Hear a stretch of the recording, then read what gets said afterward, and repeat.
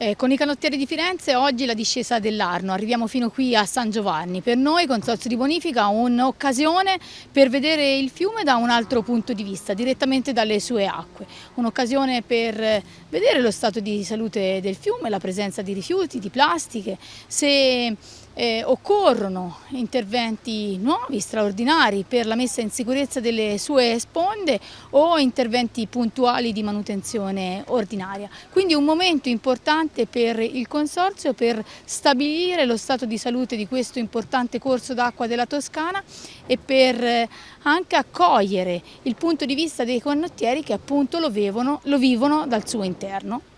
La partner con i canottieri di Firenze sta dentro al contratto di fiume Acque d'Arno qui in Valdarno e ci consente con i vari attori del territorio di stabilire una partnership, un legame stretto per portare il fiume al centro, al centro della vita delle nostre comunità, ma anche al centro degli interessi e delle attenzioni delle istituzioni.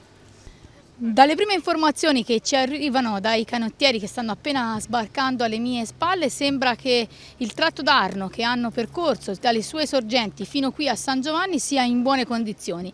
Questo vuol dire che il Consorzio di Bonifica ha svolto un buon lavoro per eh, la, mantenere in efficienza il corso d'acqua e per svolgere l'attività di manutenzione ordinaria.